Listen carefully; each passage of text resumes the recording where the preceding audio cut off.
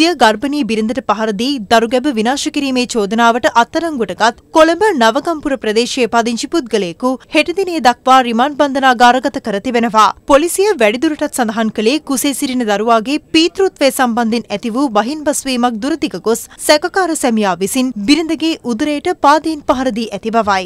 අනතුරුව බරපතල තත්ත්වයේ පසු වූ බිරිඳ රාගම රෝහලට ඇතුළත් කිරීමෙන් අනතුරුව මාස දෙකක කලලේ විනාශ වී ඇති බවට අනාවරණ වී තිබෙනවා.